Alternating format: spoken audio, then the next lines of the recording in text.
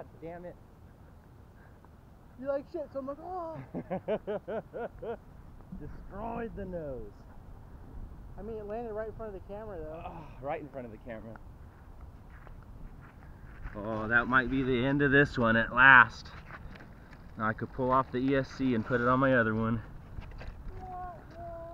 Wow, wow, wow.